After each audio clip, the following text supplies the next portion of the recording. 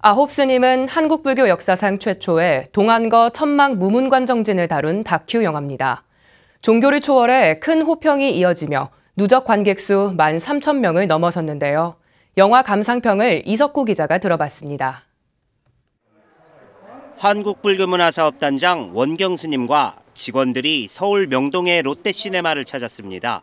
최근 큰 화제가 되고 있는 다큐멘터리 영화 아홉 스님을 보기 위해서입니다.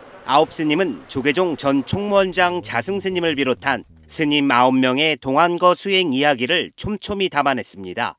한국 불교 역사상 최초의 동안거 천막 무문관 정진이었고 인간의 한계를 시험하는 극한 상황에 도전했습니다.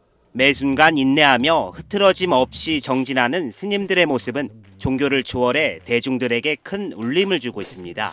환경이 열악한 가운데서 한국 불교를 위해서 부단히 노력하시고 저것이 이제 앞으로 어, 많은 분들이 이 영화를 보고 훗날에 좀 새로운 발심을 할 수 있는 동기가 됐으면 한다는 생각을 가졌습니다. 힘들다고 생각을 하면서도 또 한편으로는 뛰어넘고 난 뒤에 그 수행의 보답이 참그 중흥 한국 불교 중흥을 하는데 기초가 된다고 생각하면 더더욱 또 기쁜 마음으로 수행이 또 될 것도 같습니다. 지난달 27일 개봉한 아홉 스님은 박스 오피스 상위권에 이름을 올리며 누적 관객수 1만 3천 명을 넘어섰습니다. 코로나19 여파로 위축된 극장가 상황과 종교 다큐 영화라는 장르상 한계에도 꾸준한 흥행을 이어가고 있습니다. 글자는 물론 일반 대중들 사이에서도 입소문이 퍼졌고 온라인을 뜨겁게 달구며 호평이 이어지고 있습니다.